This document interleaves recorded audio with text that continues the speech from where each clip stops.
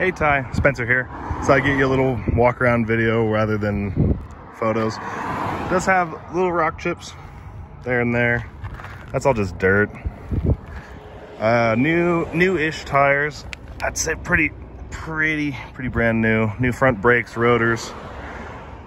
The trend, uh, I did the DSG service recently with the filter, the Haldex system, uh, rear diff, oils newer.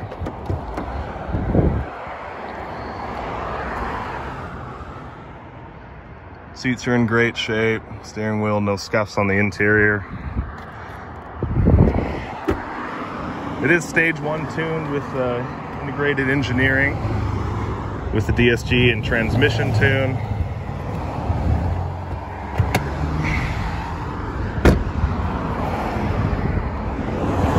Side's also flawless as well.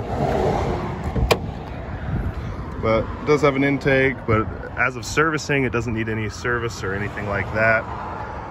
Starts, runs, drives. It's just time for an upgrade.